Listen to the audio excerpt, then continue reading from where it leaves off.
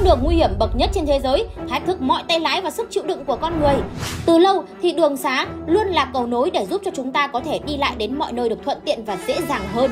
Nhưng sẽ thế nào nếu chặng đường mà chúng ta đi qua lại chính là những con đường chót vót trên vách núi, phía ai nhìn xuống là chỉ muốn tiên linh. Bí ẩn về con đường hoang tuyền ngoài đời thực khiến bao nhiêu người một đi không trở lại. Hay hành trình đi tìm con chữ đầy gian khổ của trẻ em và giáo viên vùng cao gian nan đến thế nào đây? Cùng với đó là vô vàn những con đường tử thần đáng sợ rồi vô vàn những khúc cuồng ngoằn ngoèo khó đi mà nhìn thôi cũng khiến cho ai đó phải bùn rủn chân tay rồi. Kính Lúc TV xin chào tất cả các bạn. Đã bao giờ các bạn trải nghiệm đi qua những con đường đầy rẫy nguy hiểm và khó khăn thử thách hay chưa? Comment chia sẻ ngay trải nghiệm đáng nhớ đó xuống phần bình luận phía bên dưới nhé. Các bạn thân mến, bình thường mà đi qua những đường bằng phẳng thì chắc chẳng có gì để nói, chứ nếu thật sự mà bước đi trên những con đường với đầy rẫy nguy hiểm, treo leo trên vách núi, uốn lượn quanh co hay trơn trượt sấp mặt thì ắt hẳn dẫu là tay lái cừ khôi đến mấy cũng phải lắc đầu nguôi nguẩy và khóc thét sợ hãi mà nếu có cho tiền tỷ, chưa chắc chúng ta đã dám đi qua đâu nha. Vậy thì đó là những con đường như thế nào và chúng đáng sợ nguy hiểm ra sao? Hãy cùng Kính Lúc TV tìm hiểu và khám phá ngay trong video hôm nay các bạn nhé.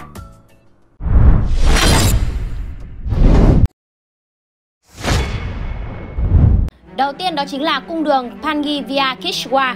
Đây là một con đường nguy hiểm bậc nhất ở Ấn Độ, một con đường gập ghềnh đầy rẫy những đá sỏi kẹp giữa vách núi dựng đứng và vực thẳm sâu hàng ngàn mét. Đương nhiên, nó sinh ra không dành cho những người yếu tim bởi vì chỉ cần chút sơ sẩy là mất mạng như chơi rồi. Được biết, con đường này dài khoảng 114 km, đã chạy qua hai huyện núi là Jammu và Kashmir, nối liền thế giới bên ngoài với thung lũng bí ẩn Panchi và được mở cửa duy nhất vào mùa hè mà thôi. Điểm đáng chú ý ở cung đường này đó là nó được xây dựng ở độ cao hơn 4.000m và đã tồn tại từ hàng trăm năm trước đây nhưng đã không được sửa chữa trong nhiều thập kỷ. Nguy hiểm hơn là khi chiều rộng của con đường này chỉ vừa đi đủ cho chiếc xe Jeep và không có rào chắn, nhưng một số xe tải và xe bus vẫn cứ liều lĩnh đi qua cung đường này. Nếu hai ô tô đi ngược chiều nhau, một trong hai tài xế phải lái xe lùi hàng trăm mét để tới đoạn tránh nhau gần nhất. Đoạn đường nguy hiểm nhất dài 9,6 km đi qua những tảng đá lớn nhọn hoắt và lầm chẩm, có thể lở xuống bất kỳ lúc nào. Do đó tài xế giàu kinh nghiệm nhất phải mất tới 4 tiếng mới có thể lái xe qua con đường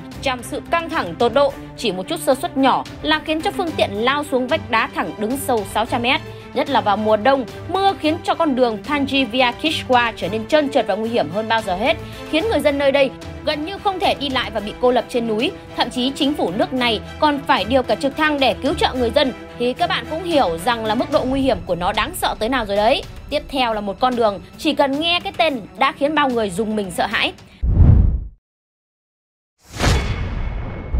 Thứ hai, cung đường tử thần Junsgat Bolivia. Các bạn có đang nghe thấy tiếng rắc rắc dưới xe hay không?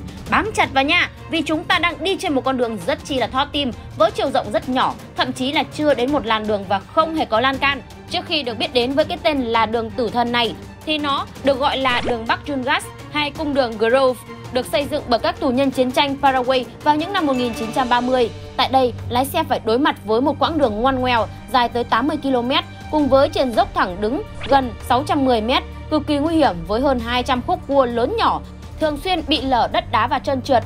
Nhưng đâu đã hết, những đám sương mù và mưa rào còn khiến cho tầm nhìn luôn bị hạn chế khi lưu thông, khi mà các vách núi ở đây đầy tai mèo sắc nhọn. Do đó, chạy chậm và nhích dần từng mét một được xem là giải pháp an toàn nhất cho các lái xe trên cung đường này. Nhất là trong những ngày trời mưa bão, con đường càng trở nên nguy hiểm hơn. Hành khách tham gia giao thông chỉ hơi không chú ý một cái là cả người và xe có thể dễ dàng lao xuống vực. Cho đến năm 1994, trung bình có tới 25 xe đã lao xuống vực sâu và gần 300 người lái xe đã thiệt mạng mỗi năm, khiến nó được liệt vào danh sách những nơi nguy hiểm nhất trên thế giới. Tuy nhiên, một khi đã máu thì đừng hỏi ông cháu là ai, Bất chấp nguy hiểm trùng trùng, hàng năm vẫn có tới hàng trăm người ưa mạo hiểm tới chinh phục con đường đầy dẫy những nguy hiểm và đáng sợ này. Cũng chính vì vậy mà tai nạn ngoài ý muốn cũng liên tiếp phát sinh. Kể từ năm 1998 cho tới nay, có ít nhất 18 người đi xe đạp trên đoạn đường này đã tử nạn và những cây thập tự giá ở ven đường chính là nơi họ đã nằm lại mãi mãi. Ui, nghe mà thấy lạnh hết cả sống lưng rồi các bạn ạ. Còn các bạn, nếu cho một tỷ thì bạn có dám can đảm đi tới con đường này hay không? Comment ngay, chịu thôi. Hoặc là đi luôn, sợ gì? Để bày tỏ quan điểm và ý kiến nha. Và kế đến là một trong những con đường đáng sợ bậc nhất ở Trung Quốc. Thứ ba, đường hầm Quách Lượng, Trung Quốc.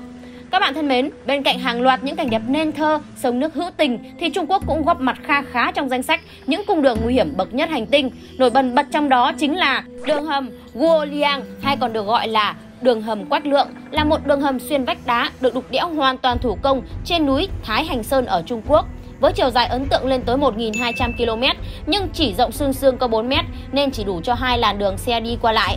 Đường hầm này sớm lọt vào danh sách những cung đường nguy hiểm nhất thế giới vì độ nguy hiểm tiềm tàng luôn rình rập.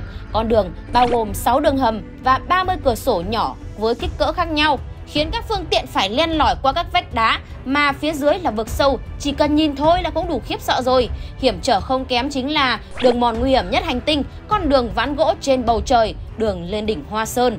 Thật vậy, để lên được tới đỉnh Hoa Sơn, bạn phải chinh phục 4.000 nấc thang chạy dọc theo sườn núi cao 1.800m, tương đương với 6 km. Sau khi leo xong các bậc thang treo leo bằng đá, du khách phải bám người vào vách núi để đi men theo hệ thống đường ván bằng gỗ mới có thể lên được đỉnh núi. Do đó, thật chẳng ngoa khi nói đây là nấc thang lên thiên đường hay địa ngục chỉ cách một bước. Nhưng mà thôi, nếu mà không muốn mạo hiểm và mất sức, bỏ ngay tiền ra đi cáp treo cho nó lành. Tiếp theo, hãy cùng khám phá những con đường nguy hiểm bậc nhất ở Nga, xem có gì đáng sợ không nha. Thứ tư, cung đường Kolyma của Nga.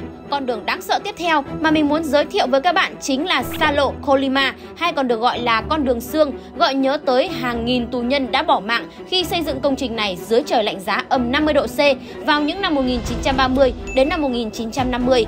Được biết, Kolyma là đường bộ duy nhất để ra vào Jakutsk, thành phố lạnh nhất hành tinh với nền nhiệt ban đêm có thể lên tới âm 60 độ C, còn ban ngày ấm lên thì cũng chỉ đạt âm 51 độ C khiến cho một phần của con đường là sông Lena đóng băng và có thể đi lại qua từ tháng 10 cho đến tháng 4. Tuy nhiên, hàng năm vẫn có hàng chục xe mắc kẹt vì sụt hố xuống băng khi chạy qua khu vực này. Còn vào khoảng tháng 7, tháng 8, thời tiết lại mưa nhiều, biến con đường trở thành một vùng lầy lội khổng lồ, làm tê liệt hệ thống giao thông và chỉ những xe chuyên dụng mới có thể vượt qua. Bên cạnh đó, tại Nga còn nổi tiếng với con đường núi nối Aster Krashana Poliana được đánh giá là một trong những cung đường nguy hiểm nhất ở Nga bởi đã có vô số vụ tai nạn xảy ra, cướp đi sinh mạng của rất nhiều lính Hồng quân trong thời gian nội chiến của Nga vào những năm 1917 đến năm 1922. Ngày nay, con đường đã đóng cửa, lối vào có cổng gác, nhưng những người đi xe đạp và du khách liều mạng vẫn tới đây để thử thách bản thân. Chịu luôn rồi đấy, đúng là chưa thấy quan tài chưa đổ lệ. Khó tìm không kém thì chính là con đường cao tốc James W. Danton ở Hoa Kỳ có chiều dài 666 km và cũng là con đường duy nhất nối với Arctic với phần còn lại của Alaska. Điểm đặc biệt của con đường này là thời tiết vô cùng khắc nghiệt, có bão tuyết và sương mù quanh năm.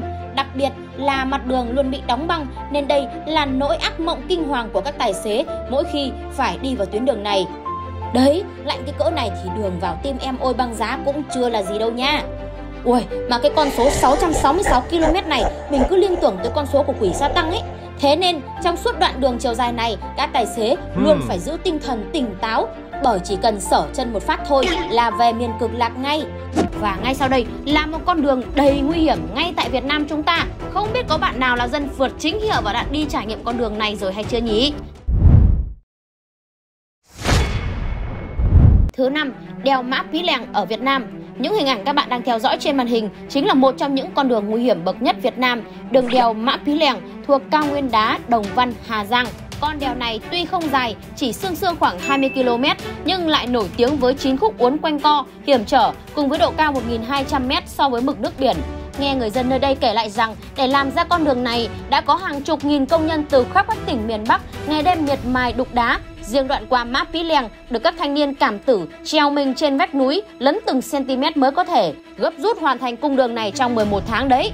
Khiếp đảm không kém thì chính là đường đèo 32 km Pha Đin ở Sơn La Điện Biên. Đây là một trong bốn con đèo được mệnh danh là tứ đại đỉnh đèo của Tây Bắc gây ấn tượng bởi sự hiểm trở và tranh vênh, một bên là vách núi và một bên là vực sâu hun hút chỉ cần lơ đễnh sơ sẩy một chút là cả người và xe có thể lao xuống vực bất cứ lúc nào. Hay, còn nếu như bạn có dịp tới vùng quê Yên Bái thì cũng nên cảnh giác với đoạn đường đèo Khao Phạ, một trong những cung đường đèo quanh co, dốc đứng thuộc hàng bậc nhất Việt Nam. Chưa kể đoạn đường khá là khó đi này còn bị sương mù bao phủ, che khuất tầm nhìn nên anh em cần đặc biệt chú ý dù phong cảnh xung quanh có thơ mộng đến đâu cũng không được lơ là kẻo tai nạn có thể xảy ra bất cứ lúc nào đấy. Và ở đây có bạn nào được tự mình trải nghiệm những con đường đặc biệt kể trên hay không? Review xương xương cho mọi người cùng chấm trồ nha. Kế đến, hãy cùng khám phá ngay đoạn đường cao tốc gây ám ảnh tột độ ở Trung Quốc.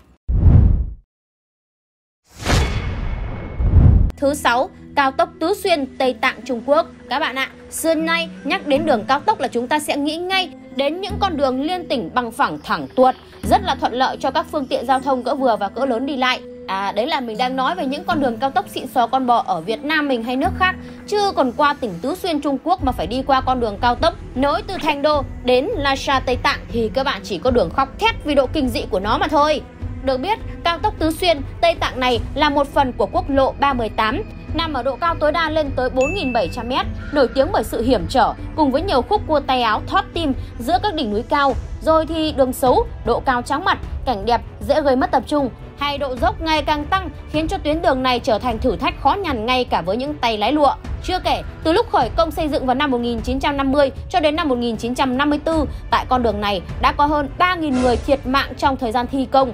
Tới nay, mỗi khi qua đây, người ta đều phải di chuyển hết sức cẩn thận nếu không muốn mất mạng. Nhất là vào mùa đông, tài xế thường phải dùng xích bao lốp xe để đi trên mặt đường trơn trượt. Đôi khi xe cộ còn không thể đi qua vì tuyết rơi quá dày, sạt lở hay là lũ quét cũng có thể xảy ra bất cứ khi nào, khiến ai đi qua đều vừa run sợ vừa lo lắng.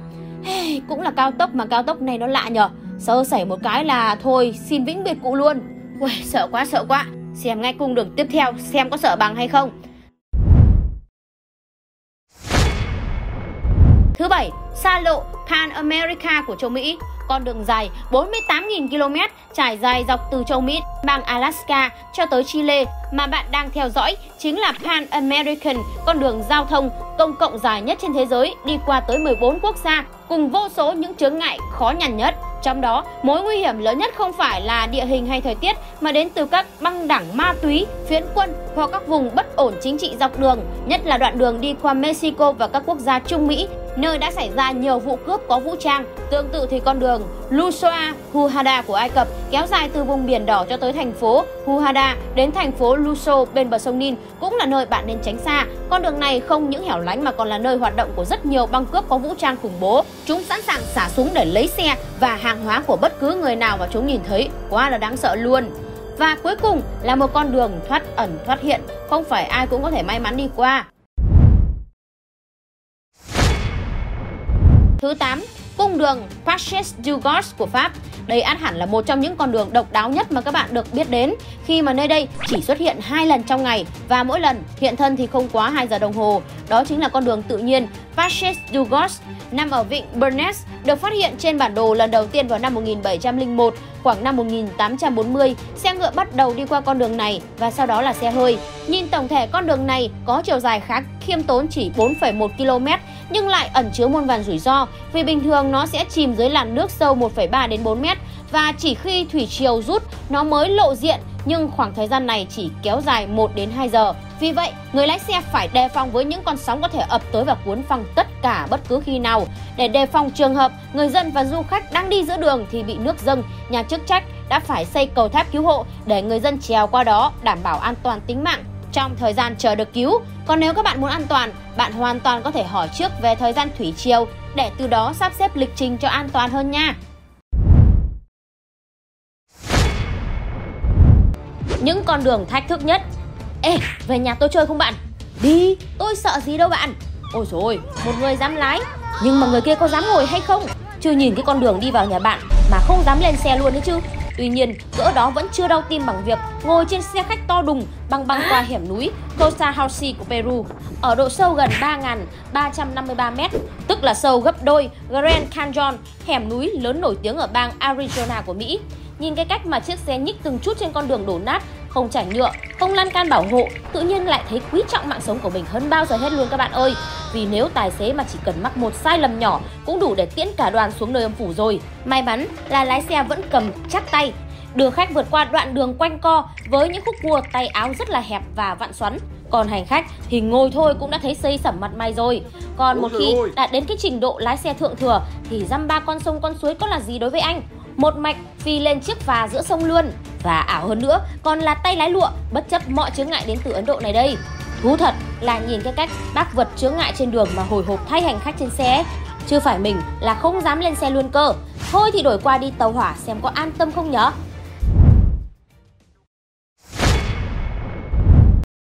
Nghe thở trước tàu hỏa đông nghịt người ở Ấn Độ Nếu như vào những ngày lễ Tết, nhiều bạn đang kêu oai oái vì ghế tàu xe hai chỗ mà nhà xe nhét tới 3-4 người thì khi qua tới Ấn Độ có chỗ mà ngồi là còn may rồi đấy nhiều người còn phải đu bám không khác gì người nhện trên những chuyến tàu định mệnh này đây theo Times of India Ấn Độ có mạng lưới đường sắt lớn thứ hai trên thế giới. Tuy nhiên, với thực tế là có tới 23 triệu hành khách mỗi ngày, rơi vào khoảng 8 tỷ lượt hàng năm.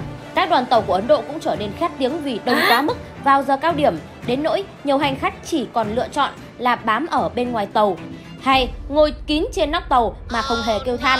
Bên cạnh đó, vé tàu còn được chính phủ tài trợ siêu rẻ, đồng thời con đường di chuyển cũng dài và tiện hơn các phương tiện khác. Nên dù phải bám đu hay chen chúc nhau ngồi thì cũng chẳng xi nhê gì. Các cô chú Ấn Độ chấp hết. Đúng là độc lạ Ấn Độ phải không các bạn ơi? Và ngoài tàu hỏa thì trình độ lái xe buýt của mấy chú lái xe Ấn Độ cũng khiến cho nhiều trái tim phải lỡ nhịp đấy. Tuy nhiên, đáng không phục nhất là phải kể tới hành trình đầy nghị lực sau đây. Cây cầu dẫn tới địa ngục Aipechi. Lý do cho cái tên nghe mà thấy bùn rủn chân tay đó là bởi cây cầu dây gỗ nằm vắt vẻo trên đỉnh núi Aipechi ở Crimea, Nga này nằm ở độ cao trên 1.000 mét so với mực nước biển. Chỉ được ghép với nhau bằng những thành gỗ mỏng manh có thể khiến du khách chóng mặt đến quay cuồng khi bước chân lên cầu. Khí hậu tại đây cực kỳ khắc nghiệt với gió thổi vào khoảng 125 ngày mỗi năm, tốc độ gió lên tới 100 dặm trên một giờ. Đối diện với độ cao, sức gió, sương mù là hàng loạt những yếu tố khắc nghiệt khiến cho du khách dễ chùn chân trước khi bước lên trên cầu. Nhưng khi trời đẹp thì lại là một cảnh tượng hùng vĩ lung linh tráng lệ nên có rất nhiều người vẫn máu liều mà thử sức.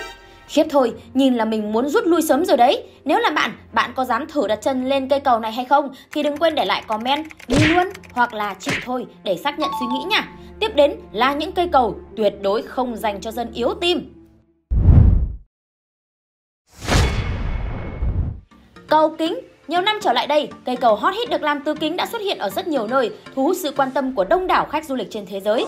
Điển hình là một số cây cầu cực kỳ hot hit và nổi tiếng như cầu kính ở Tam Hiệp, Hoàng Xuyên, Trung Quốc với tổng chiều dài cây cầu là 526,14 m, bắc qua sông Liên Giang với sức chứa 500 du khách cùng một lúc. Rồi thì cầu kính Bạch Long ở Mộc Châu, Việt Nam với tổng chiều dài là 632 m, phần bắc qua vách núi dài 290 m và trên vách đá 342 m hay cầu kính Sapa còn được gọi là cầu kính rồng mây cao hơn 2.000 m so với mực nước biển và hiện tại là công trình cầu kính cao nhất Việt Nam so với thời điểm hiện tại. Hay dùng dẫn không kém chính là cầu kính ở núi Thiên Môn, trường gia giới Trung Quốc. Ngay cái tên của cầu kính này cũng đầy kịch tính và đáng sợ. Cuộc đi bộ của lòng tin. Mặt đường được lát bằng những tấm kính trong suốt uốn éo theo vách đá ở độ cao 1.430m đầy hãi hùng. Cùng với đó là rất nhiều cây cầu kính được dựng lên ở khắp thế giới, thách thức can đảm của những người mạnh mẽ nhất tới đây. Điểm chung của những cây cầu kính này chính là những bệ kính, lối đi và cầu có đáy kính trong suốt, mang đến những trải nghiệm hấp dẫn cho du khách ưa cảm giác mạnh và phiêu lưu mạo hiểm. Mặc dù được làm bằng kính chịu lực vô cùng chắc chắn, nhưng sự trong suốt đến độ cưng ngỡ như là bạn đang treo leo lơ lửng giữa không trung đã vậy, nhiều cây cầu còn tạo thêm hiệu ứng kính vỡ, làm cho bao du khách đi qua phải hoa mày chóng mặt, ngồi thụp xuống, khóc thét, vã mồ hôi vì sợ luôn. Giá vé thì tùy nơi mỗi khác, tùy thời điểm, nhưng mà ở Việt Nam mình thì đâu đó trung bình sẽ rơi vào tầm khoảng 500.000 đồng một vé. Kể ra, đi thử cho biết cũng thú vị đấy nhở. Và có bạn nào đã được thử nghiệm cầu kính hay chưa? Thì review sương sương cho mọi người cùng biết nha. Và Vivu thế giới cũng khá là nhiều rồi. Giờ là những cây cầu độc quyền chỉ Việt Nam mới có mà thôi. Những cây cầu thoát tim nhất Việt Nam khi mà đi qua đồng bằng sông Cửu Long, các bạn sẽ thường xuyên bắt gặp hình ảnh những cây cầu khỉ được làm từ thân tre hoặc thân cây gỗ độc mộc với hàng tay vịn, thách đố người qua lại. Mặc dù khoảng cách cây cầu không quá là xa và dài, nhưng dường như chỉ có những chú khỉ khéo léo mới có thể vượt qua được cây cầu này. Còn ai mà không quen thì cứ phải gọi là rón rén từng bước từng bước, chưa hụt chân cái là rơi tõm xuống sông liền. Nên có lẽ mà cây cầu này mới có tên độc lạ như thế. Nguy hiểm là như vậy nên cầu khỉ đã lọt vào top những cây cầu nguy hiểm nhất hành tinh. Thêm một cây cầu khỉ cũng độc lạ không kém, chỉ rộng vỏn vẹn 20cm, thường xuất hiện trong các lễ hội dân gian ở miền Tây sông nước. Nhưng cách băng qua đây chỉ được dùng một chiếc xe đạp không chân trống, không phanh cũng khiến cho bao nhiêu người khóc thét và ngã lên ngã xuống. Chỉ những ai pro lắm mới có thể đi một phát ăn ngay. Rồi thì sao có thể thiếu được chiếc cầu dây thừng? Chỉ vòn vẹn là hai sợi dây thừng, một cái trên cao và một cái là là dưới mặt nước được bố trí song song sao cho người chơi tay nắm chân đạp di chuyển từ từ qua bên kia con rạch. Khi sang bên kia cầu, team nào về được nhanh nhất chính là team chiến thắng. Rồi thì đã về miền Tây, chớ có bỏ qua trò chơi cầu lắc Nhìn thôi đã muốn tiền đình. Với hai đội thi tham gia, luật chơi chính là những người ở trên cầu sẽ đung đưa qua lại, lắc tới lắc lui cho đến khi mọi người rơi hết xuống cái ao nhỏ thì đội con người trên cầu sẽ giành chiến thắng. Rồi độc lạ Việt Nam nhất mà thế giới phải chịu thua thì chỉ có thể là cầu tõm. Thực tế thì đây là tên gọi của một loại nhà vệ sinh ở một số vùng quê Việt Nam. Loại nhà vệ sinh này được xây dựng ngay trên mặt nước tại các ao hồ sông suối. Khi đi vệ sinh thì chất thải được thải trực tiếp xuống sông, gây ra cái tiếng tõm Chính vì việc xây nhà vệ sinh này trên mặt nước nhiều khi phải thêm cầu đi ra và tiếng động khi sử dụng nên người ta mới đặt nó là cầu tõm. Giờ thì hiếm có ai dùng loại nhà vệ sinh này nữa. Nhưng mà đây cũng là một thứ mà ngày xưa ông bà cha mẹ ta cũng rất là hay dùng đấy nha. U chà chà, không ngờ Việt Nam mình cũng có những cây cầu thú vị đến như thế đấy. Bạn đã được trải nghiệm bao nhiêu cây cầu kể trên rồi thì khoe ngay cho mọi người cùng biết thêm nha.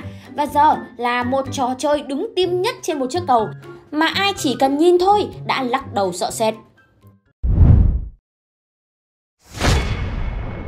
Cầu treo Hushani Chiếc cầu được mệnh danh là nguy hiểm nhất trên thế giới, bắc qua hồ Boris, hồ nước xinh đẹp nằm ở Pakistan. Cầu được kết nối bởi hệ thống dây thừng và ván gỗ đơn sơ ọp ẹp. Có nhiều tấm ván còn bị rơi gãy sau một thời gian sử dụng do xung lực và điều kiện thời tiết nên tạo ra cảm giác không hề chắc chắn. Sau vài mùa mưa thì đã khiến chiếc cầu này mục nát và hư hỏng nặng. Chiếc cầu treo Hushani giúp kết nối người dân làng Jarabas với làng Hushani ở vùng Gilgit Baltistan. Tuy nhiên, việc qua cầu không hề đơn giản mà nó là sự thách thức thực sự bởi vì các tấm ván gỗ trên mặt cầu nằm tách rời nhau, nếu như sơ sẩy có thể rơi bùm xuống sông luôn ấy chứ.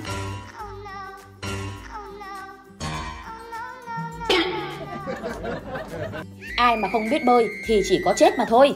Tuy nhiên nhiều người cho rằng như thế còn hơn là phải mất rất nhiều thời gian và công sức để trèo qua những dãy núi cao hay băng qua con sông lớn mà vẫn có thể di chuyển qua bên kia bờ. Cơ mà nói gì thì nói, để qua được cây cầu này đúng là vừa đi vừa run các bạn nhớ.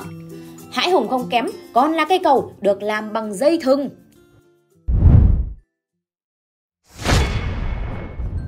Cầu dây thừng Carrick Arede, Ballintoy, Bắc Iceland. Carrick Arede là cây cầu treo bắc qua hai vách núi ở Bắc Iceland. Cây cầu có độ cao 30m, chiều dài 20m, phía bên dưới là mặt biển và bãi đá lởm chởm. Nếu yêu thích sự mạo hiểm, bạn có thể thích đi qua cây cầu để tận hưởng cảm giác đung đưa mạnh của cây cầu mỗi khi có gió thổi qua. Đến với nơi đây, du khách sẽ được đi bộ trên cây cầu dây văng treo. Cây cầu này được làm bằng gỗ và dây thừng nên nhìn rất là đáng sợ. Nhưng khi đã vượt qua được nó rồi thì bạn có thể ngắm nhìn các loài chim biển đa dạng và phong phú. Vào năm 2018, cây cầu đã có khoảng 485.736 lượt khách. Cầu mở cửa quanh năm. Nhìn từ xa, Carrick Carrede mong manh như sợi chỉ nhỏ vắt qua khoảng không, nối giữa vách núi cao và hòn đảo ngoài khơi. Và đây thực sự là một trải nghiệm không dành cho những bạn yếu tim đâu nha. Tiếp đến là một cây cầu, chắc có cho tiền tỷ bạn cũng không dám đi.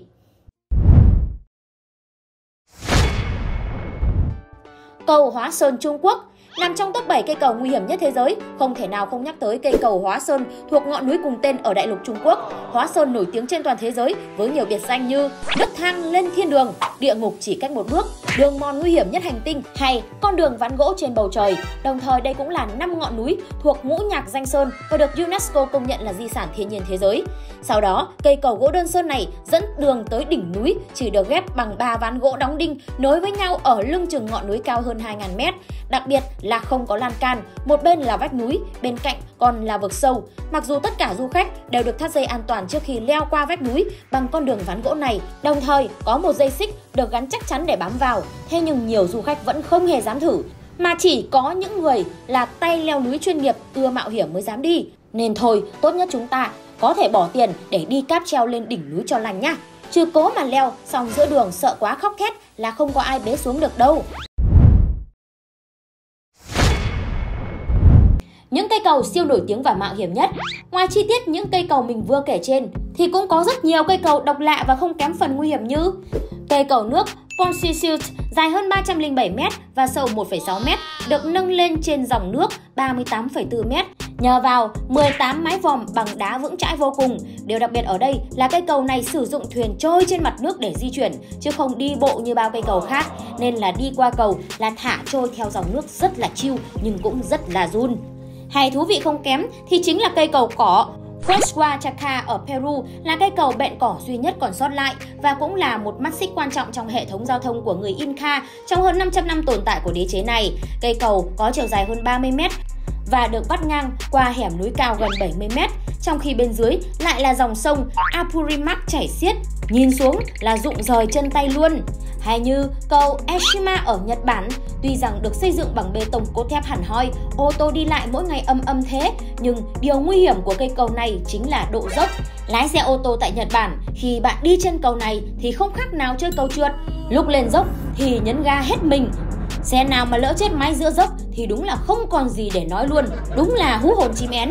Hay đặc sắc hơn cả, chính là cây cầu vượt biển dài nhất trên thế giới, nối liền Hồng Kông, Macau, Chu Hải dài 55 km được xây dựng trên sông Châu Giang.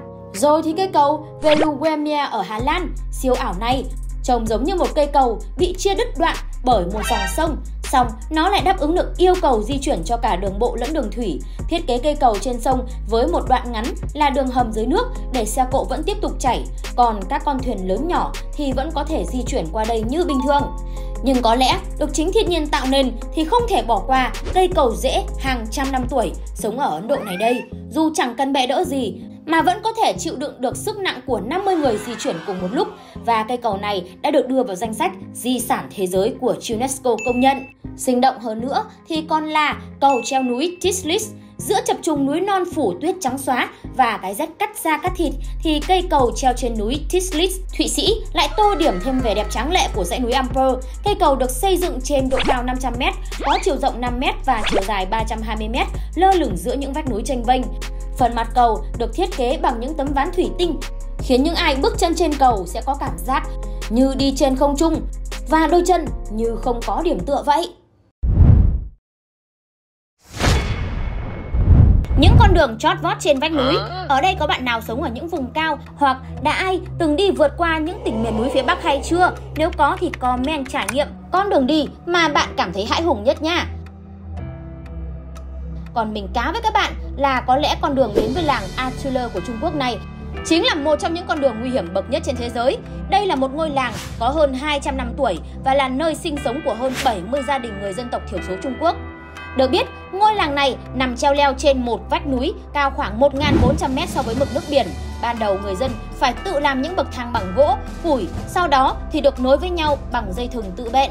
Mãi sau này, nơi đây trở nên nổi tiếng và được du khách thường xuyên ghé thăm thì chính quyền địa phương đã xây dựng cho họ những cây cầu mới bằng sắt thép thì cũng an toàn hơn một chút.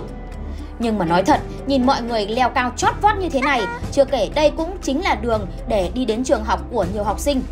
Nên mình cảm tưởng như kiểu đây là trò chơi sinh tồn ý, trượt chân một cái là đăng xuất khỏi trái đất luôn. Khiếp đảm không kém thì chính là con đường tử thần ở Tây Ban Nha luôn là một thách thức đối với tất cả các du khách khi mà đến tham quan. Con đường này có tên là El Caminito del Rey, tuy chỉ dài có 8 km thôi, nhưng mà nó nằm treo leo trên một vách núi dựng đứng mà thông thường thì các bạn sẽ cần phải mất 3 đến 4 tiếng mới có thể đi hết được. Đây cũng được coi là những con đường nguy hiểm bậc nhất trên thế giới vì đã có nhiều người phải bỏ mạng ở đây. Đến năm 2000 thì họ phải đóng cửa con đường này để tu sửa lại toàn bộ trước khi nó được đưa vào hoạt động trở lại vào năm 2015. Và cũng không thể thiếu đến những con đường được mệnh danh là nấc thang lên thiên đường mà sảy chân là xuống địa ngục, đó chính là đường lên đỉnh núi Hoa Sơn ở Trung Quốc. Ngọn núi này cao khoảng 2.154 mét thuộc tỉnh Thiểm Tây, được các đạo sĩ chọn làm nơi tu hành và con đường này cũng được sinh ra từ thời ấy.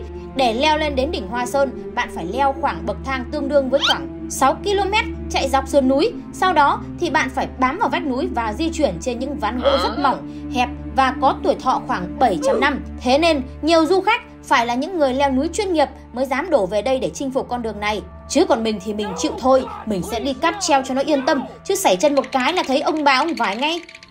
Cơ mà nói gì thì nói, những con đường kể trên dù có nguy hiểm đến mấy vẫn cứ là thu hút những người dám thách thức tử thần. Còn đến với con đường mà mình sắp kể sau đây, đảm bảo là một đi không trở lại, có cho tiền cũng không ai dám vào. Bí ẩn Hoàng Tuyền Lộ.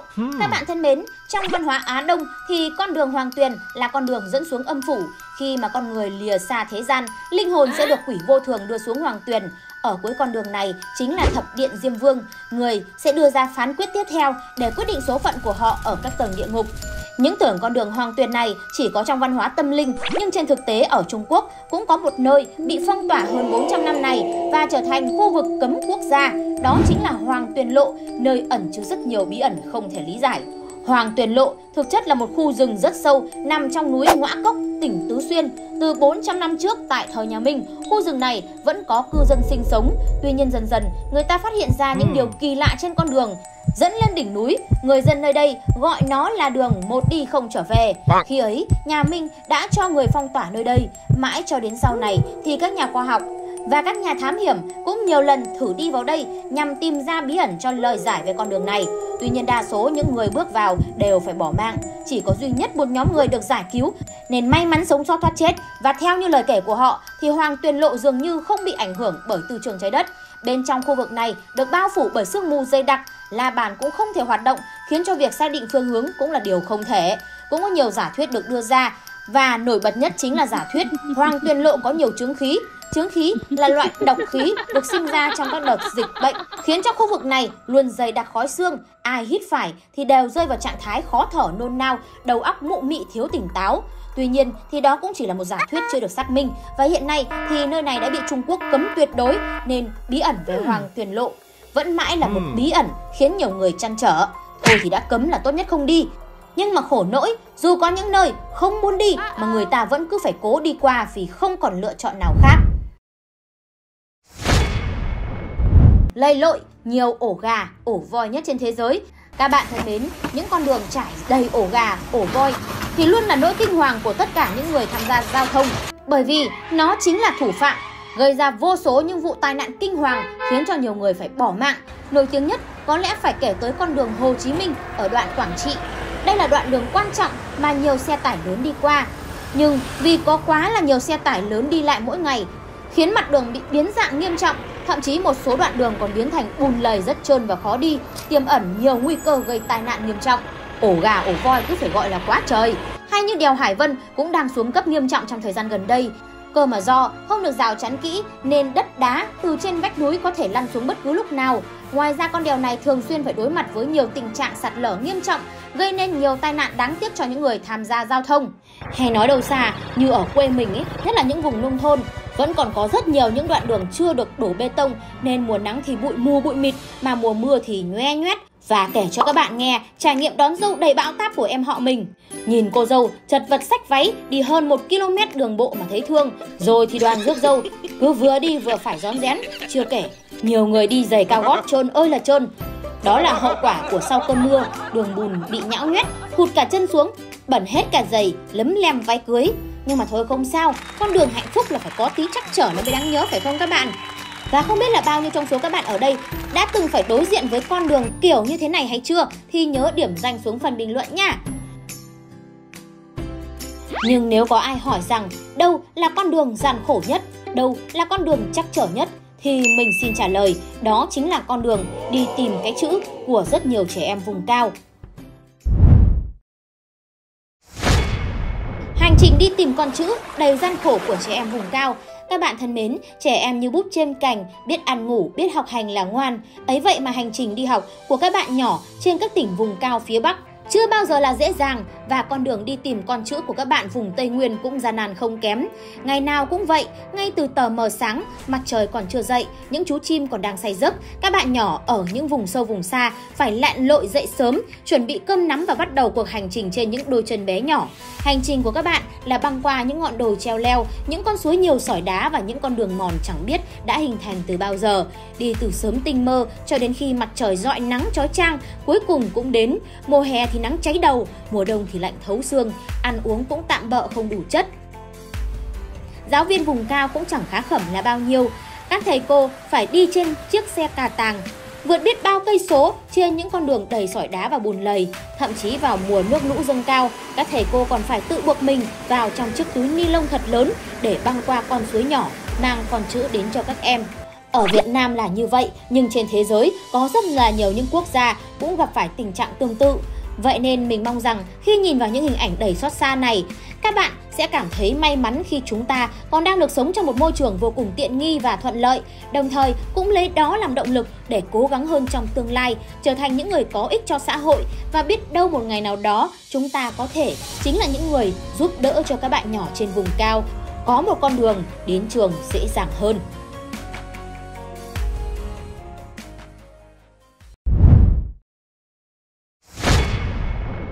Các bạn thân mến, từ xưa đến nay thì con người đều phải tuân theo một vòng luân hồi của cuộc sống đó là sinh lão bệnh tử và bất cứ ai cũng không thể thoát khỏi cái chết. Nhưng mà chết rồi thì chúng ta sẽ đi về đâu? Sẽ phải trải qua những điều gì và lại đầu thai như thế nào? Dù khoa học chưa thể giải đáp chính xác cho câu hỏi này, nhưng những ai tin vào tâm linh thì đều thấy rằng cõi âm gian là hoàn toàn tồn tại và trong mỗi nền văn hóa, mỗi tôn giáo sẽ có những giai thoại khác nhau để giải thích rõ ràng hơn cho câu hỏi này. Và nói riêng về văn hóa phương Đông của chúng ta thì đã lưu truyền những câu chuyện rất ly kỳ nói về những cửa ải mà con người phải trải qua dưới cõi âm gian. Vậy thì đó là những cửa ải như thế nào và chúng đáng sợ ra sao? Thì ngay bây giờ các bạn hãy cùng Kính Lúc TV tìm hiểu và khám phá nhé. Chặng đường đi xuống âm gian Trước khi đi vào chi tiết từng cửa ải thì mình sẽ nói tóm tắt qua chặng đường mà một người sẽ phải trải qua các bạn nhé. Các bạn thân mến, dựa vào các nền văn hóa của tôn giáo phương Đông, Phật giáo và Đạo giáo thì tương truyền rằng sau khi thọ mệnh của người ta kết thúc sẽ có quỷ sai của âm gian cũng chính là hắc bạch vô thường, đến dẫn hồn của người ta đi xuống. Và tương truyền, trong quá trình đi xuống âm gian, khi người ta chết đi sẽ phải trải qua 7 cửa ải, mở đầu là quỷ môn quan và cuối cùng là đi qua cầu nại hà. Đứng trên vọng hương đài, nhìn xuống nhân gian một lần cuối cùng và sau đó mới đi vào cõi âm tào địa phủ và tiếp đó được thẩm phán của chư vị đại phán quan của thập điện Diêm La dưới âm phủ tiếp nhận.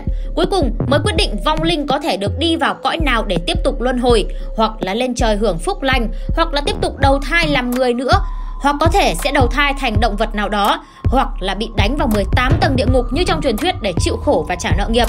Vậy thì cửa ải đầu tiên sẽ như thế nào đây? Các bạn hãy cùng kính lúc theo dõi nhé. Ải thứ nhất, quỷ môn quan. Các bạn thân mến, trong quá trình đi xuống cõi âm thì ba hồn bảy phách sẽ được quỷ đầu trâu mặt ngựa dẫn đến cửa ải thứ nhất đó là quỷ môn quan. Ngạn ngữ có câu quỷ môn quan, 10 người đi, 9 người trở về. Dưới âm tào địa phủ, Diêm La Vương đã đặt cách chọn ra một nhóm ác quỷ để chấn giữ cửa ải này. Họ tra xét vô cùng hà khắc, nghiêm ngặt đối với những vong hồn, dã quỷ tội ác đầy mình, bản tính hung ác không đổi, không để một ai có thể trà trộn đi qua quan này. Lúc còn sống, bất luận là quan chức quyền quý hay bá tánh bình dân, ai đến đây cũng đều phải tiếp nhận tra xét, xem xem có mang theo lộ dẫn, tức là giấy thông hành đến quỷ quốc báo danh hay không. Và phàm là những người sau khi chết thì ai ai cũng phải mang theo để đi qua đường này mới có thể đến địa phủ chuyển thế thăng thiên. Ui dồi ôi, mới cái cửa ải đầu tiên thôi mà xem chừng là căng ghê đấy. Toàn là tra xét với hỏi cung, lỡ ngớ mà không có giấy thông hành còn bị giam ở đấy luôn đấy chứ. Khủng khiếp thật sự luôn. Nhưng chưa là gì so với cửa ải dài đằng đẵng thứ hai sau đây đâu nha. Ải thứ hai, đường Hoàng Tuyền. Các bạn thân mến, qua khỏi quỷ môn quan, hồn phách sẽ phải đi qua một con đường có tên là Hoàng Tuyền hay suối vàng dài đằng đẵng. Đây là con đường âm gian báo danh qua rất nhiều quan và nhiều lộ trình. Nét đặc trưng dị biệt tại cung đường này có rất nhiều hoa bỉ ngạn đỏ. Nhưng chỉ nhìn thấy hoa mà không nhìn thấy lá. Màu hoa thì như lửa cháy nên được ví là đường lửa chiếu rọi nhìn từ xa sẽ giống như tấm thảm máu trải dài và đầy kinh dị. Và con người cứ bước theo sự chỉ dẫn của loài hoa này đến địa ngục, hương thơm của những bông hoa có thể gợi nhớ đến ký ức tiền kiếp của người đã khuất. Hoa và lá dẫu sinh ra cùng một rễ nhưng không thể gặp nhau, nhớ thương luyến tiếc nhau mà mãi mãi mất nhau. Và ngoài ra, trên đường Hoàng Tuyền có rất nhiều cô hồn dã quỷ. Họ là những người dương thọ chưa hết mà chết bất đắc kỳ tử. Điển hình nhất là những cái trường hợp mà người ta tự tử, hình hài do cha mẹ sinh ra, sống đã không tận hiếu báo ân, không làm được việc gì ích cho đời, lại ngu muội đi tự hủy hoại và giết thân mình. Đây chính là một tội cực kỳ nặng. Họ sẽ không thể lên trời và cũng không thể đầu thai, lại càng không thể đến âm gian, chỉ có thể lang thang trên đường hoàng tuyền, đợi đến khi dương thọ trên trần gian kết thúc mới có thể đi báo danh, nghe La Diêm Vương phán xét và chắc chắn là không thể chuyển sinh thành người được nữa. Thành gì thì do Diêm Vương sẽ quyết định bởi vì ai bảo dám tự tiện tước đoạt đi tính mạng đang có thì ai mà cho đầu thai làm người tiếp được nữa. Nên là nói gì thì nói, thà sống chọn kiếp người, chịu khổ ở trên trần gian dù thế nào đi chăng nữa thì cũng không bao giờ khốn khổ bằng kiếp cô hồn dã quỷ, vật vờ trốn lạnh lẽo, làm ma đói, ma khát, thống khổ trăm bề hơn. Và chính vì vậy, đừng ai cho rằng tự sát là đã hết khổ. Ngược lại, tự sát chính là mở đầu cho muôn vàn khổ đau dày vò ở thế giới bên kia. Nên là cuộc sống dù có thế nào đi chăng nữa thì các bạn hãy tích cực và đón nhận để vượt qua nhé. Bởi vì ngoài kia còn có rất nhiều người yêu thương bạn, tương lai còn nhiều điều tươi đẹp đang chờ đón chúng ta mà. Và ngay sau đây, hãy cùng khám phá một cửa ải có thể tường tỏ mọi chuyện trên đời luôn. Ải thứ ba, Tam Sinh Thạch. Được biết, cuối đường Hoàng Tuyền, linh hồn sẽ gặp một con sông nhỏ có tên là Vong Xuyên Hà. Bắc qua sông là cây cầu Nại Hà, có một tảng đá xanh, chữ đỏ có tên Tam Sinh Thạch hay đá ba đời. Mặt trên tấm đá có khắc bốn chữ lớn Tảo Đăng Bỉ Ngạn, tức là sớm đến bờ bên kia. Theo Phật gia giảng thì có tam thế chuyển sinh, tức là có kiếp trước, kiếp này và kiếp sau. Kiếp trước là nhân, kiếp này là quả và kiếp sau là duyên. Nhân duyên tụ hợp, duyên nợ đều phải hoàn trả và tất cả đều được ghi lại đầy đủ trên tam sinh thạch, tức là đá ba đời này.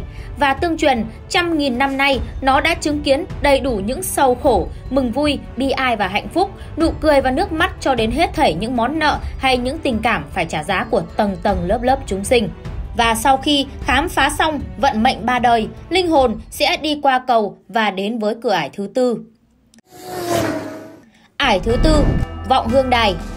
Cửa ải này nằm ở bên bờ đối diện cầu Nại Hà. Nơi đây có một gò đất có tên là Vọng Hương Đài hay đồi nhớ quê. Đứng ở trên đó, năm châu bốn biển đều có thể nhìn thấy. Và tại đây rồi, xem như là không thể tái sinh trở về. Và lúc này, nhục thân ở dương gian cũng hầu như đã được đưa vào quan tài khâm liệm. Linh hồn chỉ có thể lên vọng hương đài, nhìn về ngôi nhà nơi dương thế. Vậy nên, nơi đây đã trở thành cửa sổ nhìn về dương gian của quỷ hồn và thánh địa và là nơi liên lạc tình cảm giữa người sống và người chết. Và truyền thuyết kể rằng thì sau khi người ta chết rồi, ngày đầu tiên không ăn cơm nơi cõi người, ngày thứ hai liền qua âm dương giới và ngày thứ ba thì linh hồn đến vọng hương đài, nhìn về quê nhà. Sau đó khóc lớn một trận mới hết hy vọng và đi đến âm tào địa phủ. Đúng là con gì khổ đau hơn khi mà phải sinh ly từ biệt và nhìn người thân đau xót, khóc lóc thảm thiết thì ai mà có thể kìm lòng được đúng không các bạn? Và tiếp theo là một cửa ải vô cùng đáng sợ.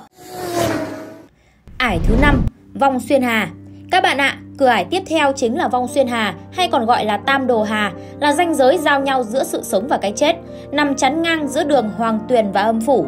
Nước sông có màu đỏ như máu, bên trong hết thảy đều là cô hồn dã quỷ không được đầu thai, trùng rắn khắp nơi. Những trận gió tanh hôi tạt thẳng vào mặt. Nhưng dưới sông này là dòng ký ức của người, Tại đây, linh hồn có thể nhìn thấy tất cả những gì xảy ra, kể cả những việc tốt, xấu mình đã làm. Thường thì linh hồn chỉ lặng lẽ nhìn để cho ký ức dần lặng chìm dưới dòng sông rồi đi tiếp. Nhưng cũng có một số trường hợp đặc biệt, sau khi chết vẫn mong muốn kiếp sau có thể gặp lại người mình yêu thương nhất trong kiếp này, nên họ có thể không uống canh mạnh bà mà chọn nhảy xuống sông Vong Xuyên, đợi trên nghìn năm để có thể đầu thai và đi tìm tình yêu. Trong nghìn năm đó, linh hồn có thể nhìn thấy người mà mình yêu thương nhất trong kiếp này đi trên đầu, nhưng không thể nói chuyện với nhau, hay thậm chí nhìn thấy họ hết lần này đến lần khác đi qua cầu Nại Hà và uống canh mạnh bà. Tuy trong lòng luôn mong họ không uống nhưng lại sợ rằng họ không chịu nổi cái khổ dày vò nghìn năm trong vong xuyên hà này. Và sau nghìn năm, nếu như lòng nhớ nhung của bạn không thể giảm đi, còn có thể nhớ được chuyện của đời trước, thì linh hồn có thể trở lại nhân gian, tìm kiếm người mình yêu nhất trong đời trước. Và kế tiếp, hãy cùng đến với một bát canh giúp quên sạch mọi ký ức ngay sau đây nhé. Ải thứ 6, canh mạnh bà. Các bạn ạ, à, Gần cầu Nại Hà có một cây đình nhỏ gọi là đình Mạnh Bà. Và như đã nói ở trên, những ai không muốn lãng phí cả nghìn năm chỉ để chờ đợi một người thì sẽ đến ngôi đình này và uống canh Mạnh Bà để quên sạch mọi ký ức của đời này lẫn đời trước. Khi mỗi người đi qua cầu Nại Hà, Mạnh Bà đều hỏi là có uống canh Mạnh Bà hay không. Và nếu muốn qua cầu Nại Hà thì phải uống canh Mạnh Bà, còn không thì không được phép qua cầu và cũng không được đầu thai chuyển sinh. Vậy thì thứ canh này có gì mà lại quyền năng khủng khiếp đến như vậy? Sự thật thì mỗi người khi còn sống đều phải chảy nước mắt, hoặc vui, hoặc buồn, đau khổ, căm hận, sầu não hay yêu thương. Và mạnh bà đã thu giữ từng giọt nước mắt của chúng ta lại, đun nấu thành canh mạnh bà. Và khi họ rời khỏi nhân gian, đi đến đầu cầu Nại Hà sẽ cho họ uống vào để quên đi hết thảy sầu khổ, buồn vui, sân hận ở nơi trần thế và từ đó tâm hồn của họ sẽ trở nên thanh tịnh và sạch sẽ hơn. Sau khi uống canh mạnh bà, con người ta bắt đầu tiến nhập vào lục đạo hoặc là tiên hoặc là người, hoặc là súc sinh vân vân, tùy theo nghiệp kiếp đã tu trong hai kiếp. Và các bạn nghĩ sao về chén canh thần kỳ này? Nếu được lựa chọn thì bạn sẽ uống canh mạnh bà hay là nhảy xuống sông Vọng Hà để chờ đợi ngàn năm người mình yêu? Có nên ngay đi uống canh hoặc là chờ đợi là hạnh phúc để xác nhận ngay nhá. Và cuối cùng, chúng ta cùng đến với một cây cầu định mệnh quyết định xem số kiếp đời sau của một con người đấy. Ải thứ bảy, cầu Nại Hà. Các bạn thân mến, cây cầu này được chia thành 3 tầng. Tầng trên đỏ, tầng giữa màu vàng đen và tầng dưới cùng màu đen. Càng ở tầng thấp thì càng chật, càng hung hiểm vô cùng. Khi sống, làm việc thiện thì đi tầng trên, người nửa thiện nửa ác thì đi tầng giữa và người hành ác thì chính là đi tầng dưới cùng. Bên dưới cầu là con sông có vô số cô hồn dã quỷ không được đầu thai. Những quỷ hồn chết đuối kia đều là ở trên dưới nhịp cầu hoặc trái phải đầu cầu, mong tìm thế thân cho mình để bản thân có thể đầu thai chuyển thế. Những người đi tầng dưới sẽ bị quỷ hồn chặn lại, lôi vào trong sóng lớn bẩn thỉu. Bị rắn đồng, chó sắt cắn xé, chịu đủ thống khổ dày vò không được giải thoát. Và đi hết cầu Nại Hà thì bèn có thể thông tới 6 nơi, tức là đi vào cõi lục đạo luân hồi, cõi người trời, cõi Atula, cõi người, cõi súc sinh, cõi quỷ đói hay là cõi địa ngục. Và trong đó thì người trời Atula và cõi người thuộc về ba đường trên, còn súc sinh, ác quỷ địa ngục thì thuộc về ba đường dưới. Và đi về cõi nào thì dựa vào nghiệp thiện ác tích được của vong hồn lúc còn sống mà phân loại. Và quá trình đi xuống âm gian của người ta sau khi chết thì vốn không thông dụng với hết thảy mọi người. Những người tu hành, làm việc thiện nếu như công đức đạt đến viên mãn, sau khi hết mệnh sẽ không phải trải qua quá trình âm gian này mà trực tiếp được Phật dẫn đến thế giới Tây phương cực lạc, được hưởng niềm vui và hạnh phúc. Còn với những kẻ làm việc đại ác thì có thể sẽ không phải trải qua quá trình âm gian này bởi nghiệp lực dẫn dắt mà bị đánh thẳng vào địa ngục luôn. Và đây là truyền thuyết lưu truyền đã hơn hàng trăm nghìn năm nay. Tuy khoa học không có cách nào có thể chứng thực được, nhưng vẫn ảnh hưởng sâu sắc đến tâm linh của chúng ta và hết thảy mọi người đều không khỏi hiếu kỳ, e sợ. Còn các bạn thì các bạn có tin rằng tồn tại thế giới sau khi người ta chết hay không? Và bất luận đáp án của các bạn là gì, lựa chọn tốt nhất vẫn là nên tu tâm tích đức, sống chân thiện nhẫn để luôn có một cuộc sống viên mãn và an lành các bạn nhé. Các bạn thân mến, vừa rồi chúng ta đã cùng nhau tìm hiểu và khám phá về 8 cung đường nguy hiểm, đáng sợ và đầy rẫy những thử thách gian nan nhất trên thế giới mà các bạn không tin được chúng lại tồn tại trên đời này. Và các bạn cảm thấy con đường nào ám ảnh và gây cho các bạn nhiều bất ngờ nhất? Hãy để lại comment, chia sẻ và bày tỏ quan điểm, suy nghĩ của các bạn cho mình biết nha. Nếu thích video thì đừng quên cho kính lúc tv một like, đồng thời đăng ký kênh để luôn là người đầu tiên theo dõi những video hay và mới nhất từ kính lúc mỗi ngày. Cảm ơn các bạn đã đón xem video. Còn bây giờ thì xin chào và hẹn gặp lại trong những chương trình lần sau.